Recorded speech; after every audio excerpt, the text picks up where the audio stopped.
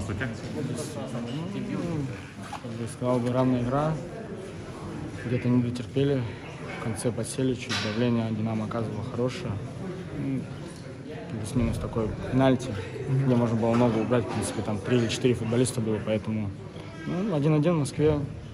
Неплохой, неплохой матч, неплохой результат, двигаемся дальше. Чувствуется, что с приходом Карпина изменилось вообще все? И, вернулся, можно сказать, отец вернулся домой. Ну, он как будто и не уходил.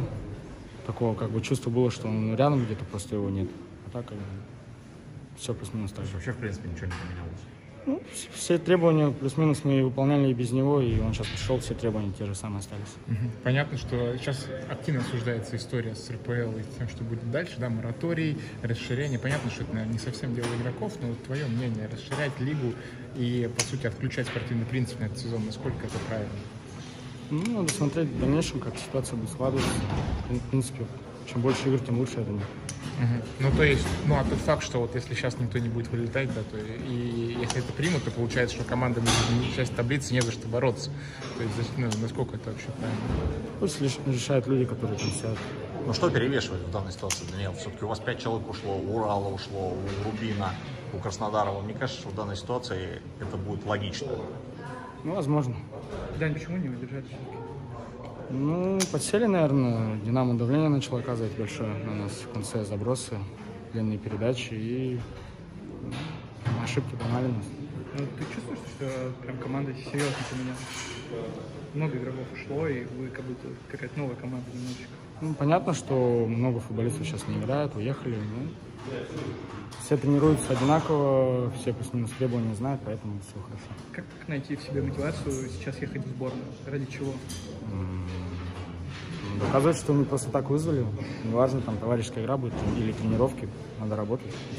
Вообще есть понимание, что сейчас как раз сборная, возможно, и нужна для того, чтобы показать, что жизнь не останавливается, что все продолжается? Ну, наверное, ну, посмотрят на реакцию футболистов, что не будет никаких официальных игр, будут только тренировки и товарищеская игра, поэтому надо ехать, доказывать, что не просто так получил приглашение в сборную и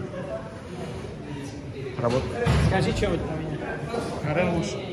Ну, мне кажется, что, может быть, стоит подкорректировать по этому матчу. Так-то он лучший, но в этом матче он мог сыграть получше, нет? Пусть Валерий Георгиевич корректирует. То, что у вас пятеро уехали, как это отразилось?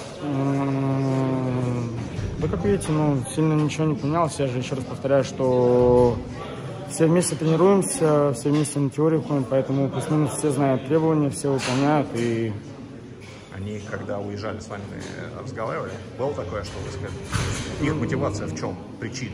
Почему уехали?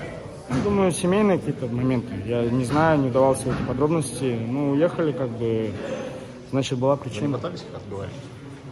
Ну, я разговаривал с иностранцами, как бы, сказал, не переживайте, все хорошо, как бы, но они мне сказали, окей, окей, но, видимо, какие-то моменты внутри были, которые перевесили, и они решили уехать. Нет не, не все нашли команду, нет ощущения, что кто-то может и вернуться до 7 апреля. Посмотрим. Нет такого, что когда сейчас просыпаешься и каждый день можно потерять какого-то игрока. С этим ощущением как команде работает? Ну, нормально работает, но это жизнь, но сложились вот такие сейчас, э, такая ситуация сложилась, поэтому, ну, я думаю, на это пенять и на, на этом акцент делать не нужно, нужно работать, тренироваться и уходить и выигрывать. Спасибо. Да, да. Когда вы смотрите на, на вашу команду, где играет 18, в обороне 18, 21, понятно, что вы не намного старше, но раньше такие команды в истории России Спартака назвали пионер отрядом, как бы вы назвали Ростов нынешний.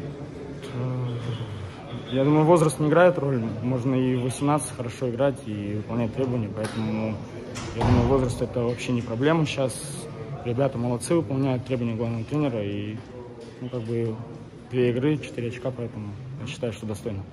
Глядя на то, какие легионеры уехали, ну, скажем, на вас и на Краснодар, у вас нет ощущения, что это, ну, скажем так, э, преувеличенная потеря? Краснодар немного потерял, у вас вообще 4 очка из 6 возможных. Что мы слишком преувеличиваем силу иностранцев.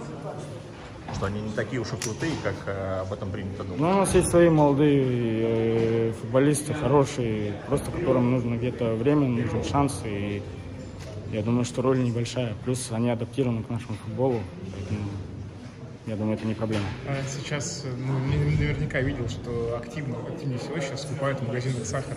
И он пропал везде. Георгиевич на эту тему не шутил? Или, может быть, его не, под, его не подкалывали? Ну, не, не, не, шуток насчет этого не было, как бы.